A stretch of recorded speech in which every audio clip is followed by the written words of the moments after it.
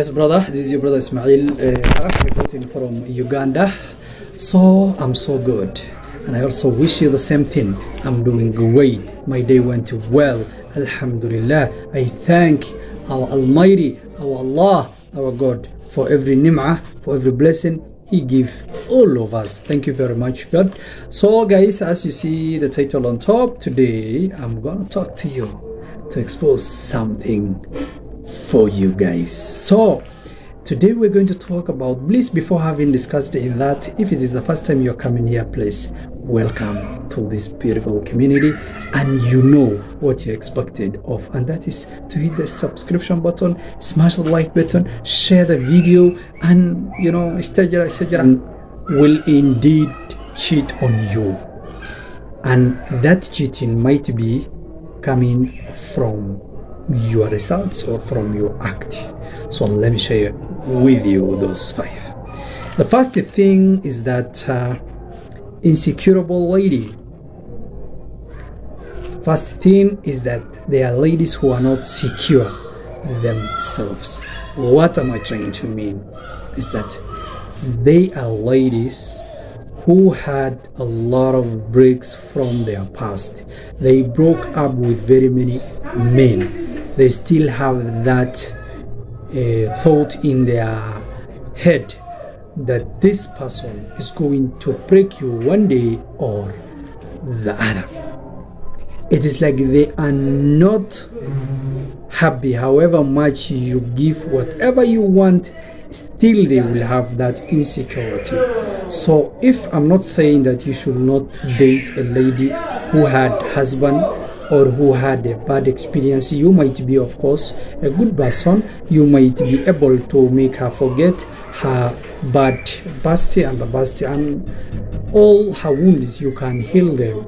So, but the question is that these women are likely to cheat on you.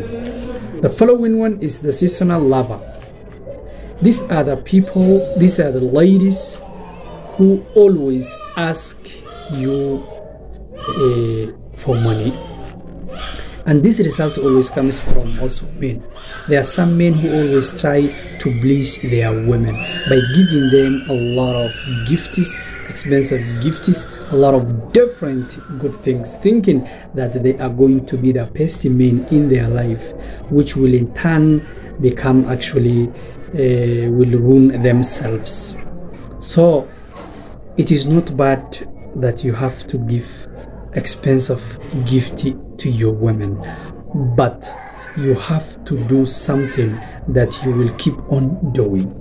Today you buy for her something the other day you buy the third day ladies will still get to know that you will keep on paying so you are the one who make them think that this guy is going to buy things for you. The, the day you run out of money and you fail to buy the, the gifts those expensive gifts is used to buy she will automatically think that you don't love her or you got another person. And as a result she will get another person again.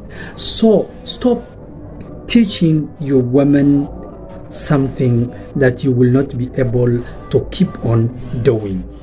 The third point is that the ex obsessive there are some ladies who always talk to you about their ex. My ex did my ex did this for me. This is what he has done. This is you know they always talk about ex ex ex ex ex which means they are still in love with their ex. If you do small mistakes they will tell you our ex will not you know he never did this he never did this. So it is 100% likely that this lady is gonna cheat on you. If you see a lady talking to you about their ex please take your pack and don't waste your time on them anymore. The fourth point is that she hides you from the people if a lady loves you to be honest with you she's not going to hide you from her family from her friends. She will in fact be proud of you. She will start introducing you to the people if she has a real life love for you. But if you see her